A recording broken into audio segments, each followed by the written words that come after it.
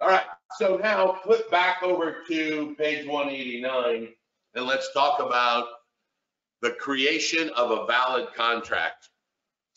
A valid contract has several parts to it. Let me see if I, let's go over here and do what we're supposed to be doing now.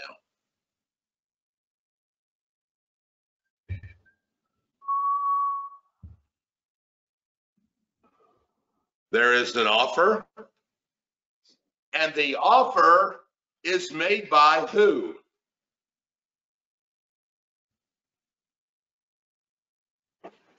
The buyer?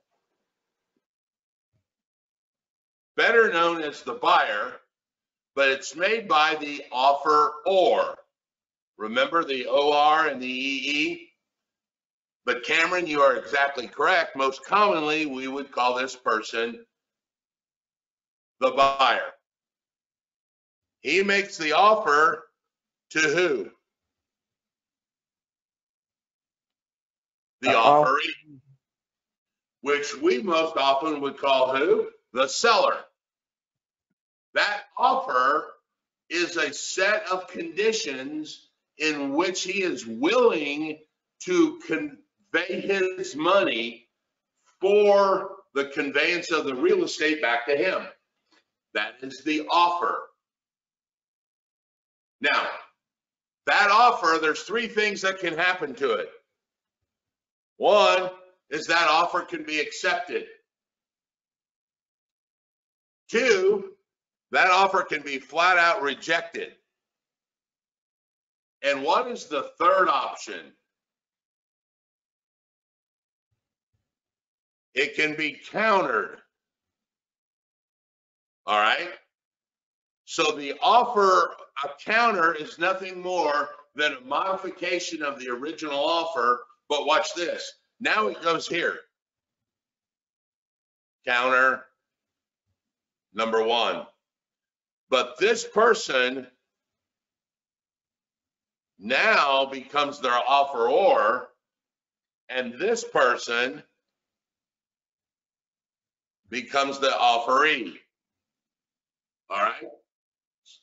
So the seller would counter back to the buyer, here's my counter offer. Now, here's an important concept you got to keep in mind when dealing with offer, uh, offers and counters.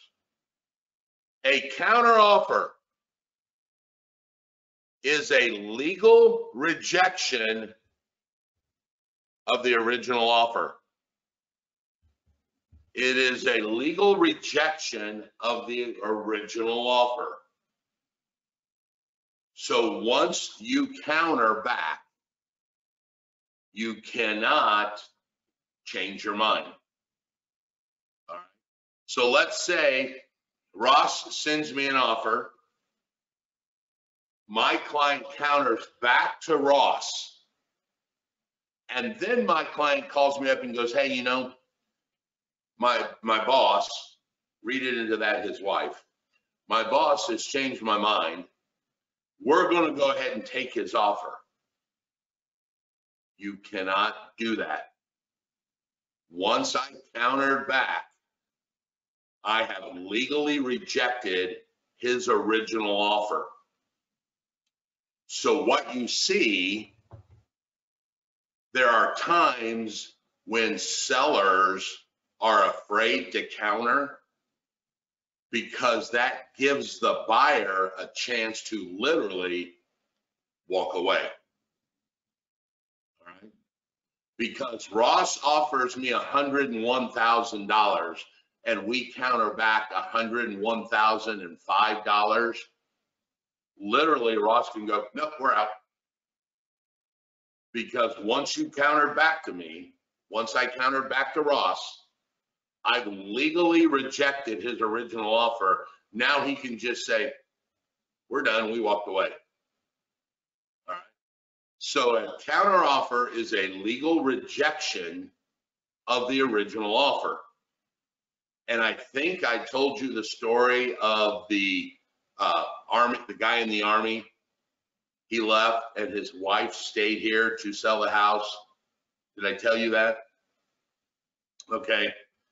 I had a deal several years ago where I pulled the comps and we listed the house like at 145, 147. And the husband was in the military and he got his orders to leave, so he left. And his wife stayed behind with the children to finish school and sell the house. Well, about two months went by and the wife came to me and said, look, we're taking the next offer. I don't care what it is. I miss my husband. My kids miss their father. We've got to get them into the new school when school starts. So we got an offer at like 139, way below what I thought the value was. Here's the key to this story. She didn't even counter anything because she was afraid if she countered even one item, that would give that buyer a chance to walk away. So they offered like 139 and everything else was cool. I mean, there wasn't a whole bunch of stupid stuff. And she said, take it, we're taking it. I'm like, yeah, but I think we can get more money. She's like, I don't care. I'm willing to walk away, but I don't want the buyer to be able to walk away. I'm accepting that offer and we're closing in 30 days and I'm leaving. So a counter would have allowed that buyer to go, I'm out and walk away. So you have to have that offer and that, and that counter would then uh, allow as a a uh, legal rejection. So if an offer comes over and you decide to accept it, there has to be an acceptance. Now, here's one of my favorite stories in the whole book. Any golfers? Thumbs up if you're a golfer. What's the most you guys have ever paid for a round of golf? I paid forty-nine thousand dollars one day. I paid 28 bucks. 28 bucks. I paid forty-nine thousand dollars one day for golf. All right.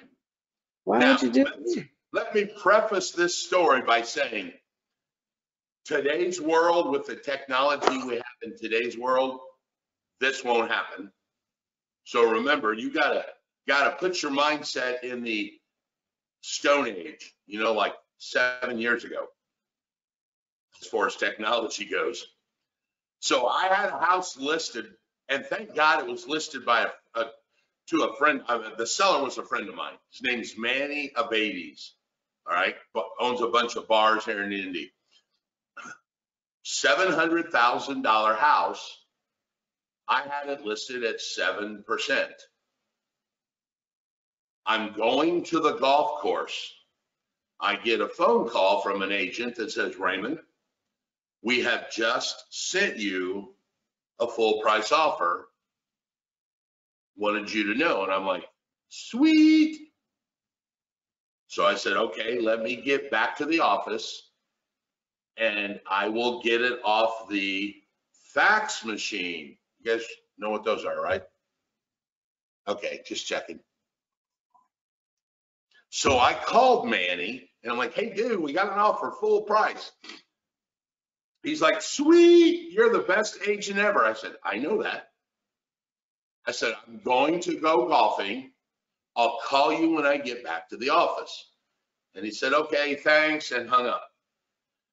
So now my question to you, my favorite quote in the whole wide world is by a chief, uh, a Supreme Court judge by the name of Potter Stewart.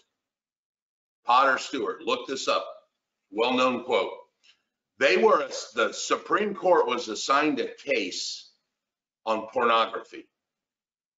And this was in the 50s. And they were claiming that this film was pornographic in nature. And it was a case about expression versus, you know, well-being, I guess. And it went all the way to the Supreme Court. And Potter Stewart wrote the winning decision. And when he, in his dissertation, he made this famous statement.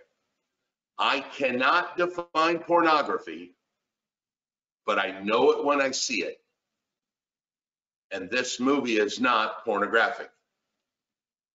So my question to you is, you think you know what accepting an offer means? Tell me what you think accepting an offer is. You think you know it when you see it, but you cannot define it? What does accepting an offer mean? Cameron? I was gonna say like both parties like consent to the contract and then they make an agreement and sign. Both parties consent to the contract.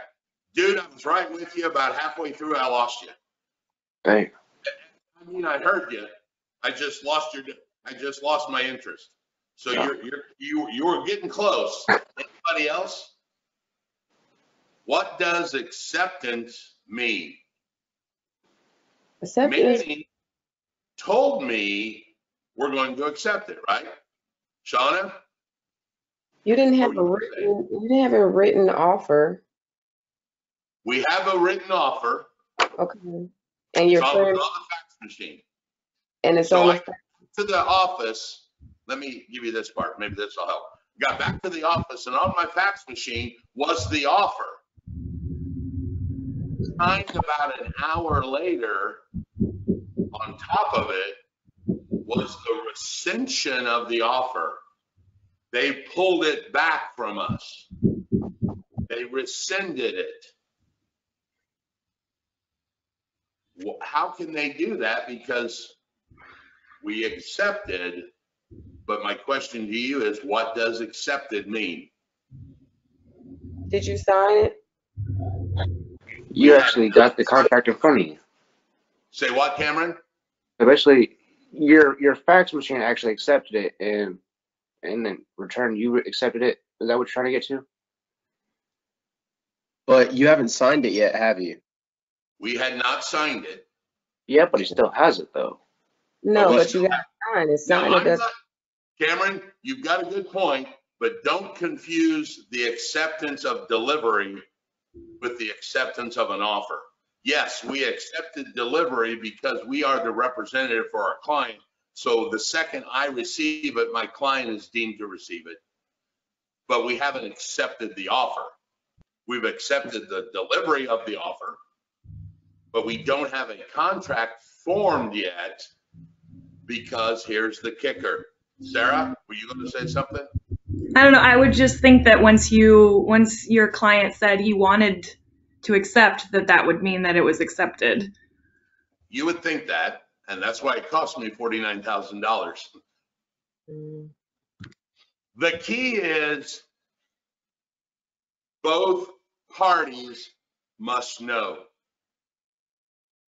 Both parties must know it's accepted. What we failed to do was tell the other side that we accepted the property or the offer. We, on our side of the table, Manny and I verbally agreed to accept the property, but we never communicated it back to the other side. So acceptance means both parties have to know. If I sent you an offer, Jaman, if I sent you an offer and I never heard from you, how do I know that you want it or accept it? I have to actually hear back from you saying, we've accepted your offer. That is what true acceptance means. Now, I know where we're going, but Shauna, go ahead and ask the question. Wait a minute, you said that the, uh, buyer rescinded their, uh, There was an hour in between that we could have responded. Up Oh, so until, is that the given length of time then? do what? Is that the given length of time then, an hour? Well, that was not our given time frame. We had five hours on the offer, but you can rescind an offer anytime up until it gets accepted. So this is kind of like a vicious cycle here. So the So if you had not played golf and gone straight back to the office and accepted it, then you would be good. Technically, what I should have done was stop the car, turn around, went back to the office, got the fax machine, got the paper, went and found Manny, had him sign the offer, went back to the office and faxed it back to the other side. You are entirely correct, Christina. We did not tell the other side because my assumption was he told me we had five hours when he called me. I figured we had, we had enough time and our side agreed that we were going to, but, but prior to you accept, they can rescind an offer at any time. Hey, I'll give you 10 grand. I'll take that back. All right, So why would it cost you any money? do what? Why did it cost you money? Well, what's 7% of, four? what's 7% of $700,000? Oh, well, you were you not able to sell the property after that? Don't kill my story. Sorry. The answer is yes. But I still paid 49 grand that day to go go golfing. All right. Yes, we ended up selling the house for full price anyway because it was a really nice house. But the key I'm trying to get here is you have to tell the other side. So let me ask you a question. Could I have picked up the phone and said, hey, we're going to accept your offer to the other agent?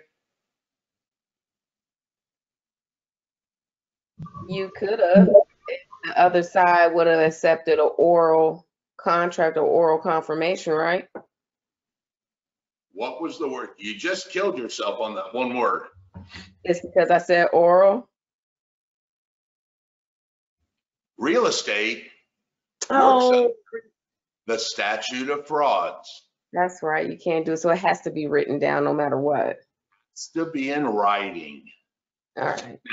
I could have called the other agent and said, hey, we're going to take your offer. At least as a heads up.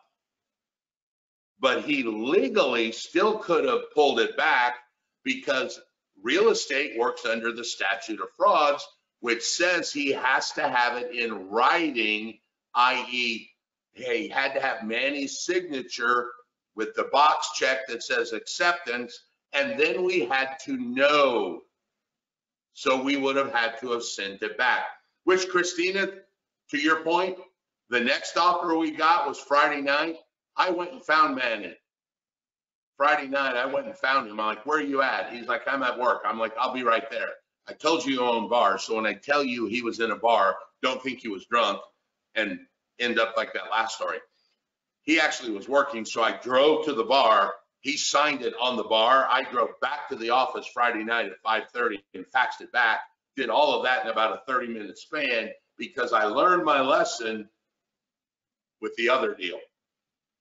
So the acceptance portion of this is both parties have to know it's been accepted. We just cannot sign it and leave it sit on our desk. All right, now Cameron, to your point, just so that we're clear, if once I sign or once Manny signs it and I send it to you as the agent, you have now accepted delivery for your client. Even though you may not be able to talk to your client for two more hours because they're at work, it's still considered accepted because you are the agent of the client.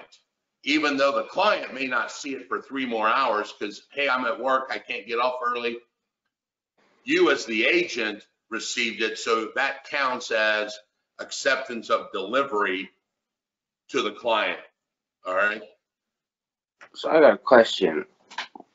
In this like like little pandemic thing, say one party can't be there because they're sick or for some reason. Is there like a way you could extend contracts? Yes.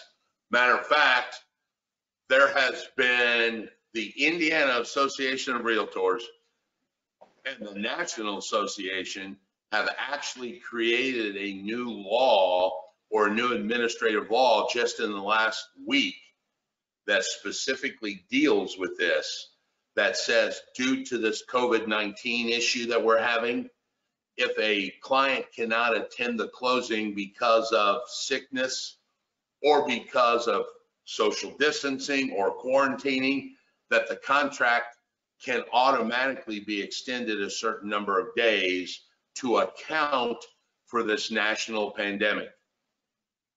And there is now a verbiage clause, it's about this big, that we now put in purchase agreements just in the last three or four days. All right, it was put out to us and said, hey, you guys should use this. So yes, there is some consideration now for what's going on in the country as we speak. All right.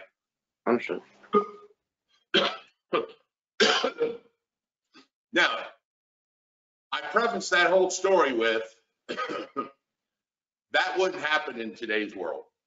Because now we have the technology of the offer would have came to my email, not a fax machine, on my phone, at which time I could have then forwarded that email to Manny, who can now electronically sign on the screen, send it back to me. I then send it back to the other agent, all while I'm driving. Don't text and drive. I would have pulled over. But all of that could now happen in a matter of 10 minutes. All right. This was a scenario of fax machine came to my office. I was physically located at the golf course. I had to go back and get the fax machine. I had to then drive to get Manny's signature, had to drive back to the office to fax it back to the client. So I meant that process seven years ago was a couple hour process, depending on where your client, or if your client even had a fax machine. In today's world, it now happens bang, bang, bang, bang. Give me the offer, forward the email, you sign it, send it back, and I'll go back to it literally in a matter of minutes. So, right? question with the whole e-signature thing, how could you tell if someone was like, uh, I guess like mentally saying over an email during a contract, or like, or like if they're like intoxicated or anything like that? Like, how do you know they're gonna be in their right mind to be making a house agreement or a house purchase over email? In the situation of being inebriated, you are exactly correct. You could not. But in theory, how do I know that's not true? Even in the old scenario where Manny would have signed it and I would have sent it back to you via fax. So the inebriation is, is one that would be a on the spot kind of judgment like the title company. hmm The one about the age is obviously discernible because somebody would know, hey, she signed it on this date. We know her birthday. She's not, she wasn't seven, wasn't 18 when she signed that. So most of the stuff is pretty easily determined. Inebriation would be the one exception where, hey, I don't know if he was drunk when he signed it. So I, you, you're going to have to go with the assumption of that the agent is professional. And if the agent saw their client was drunk, hammered in a bar, that they wouldn't ask their client to sign at that particular moment.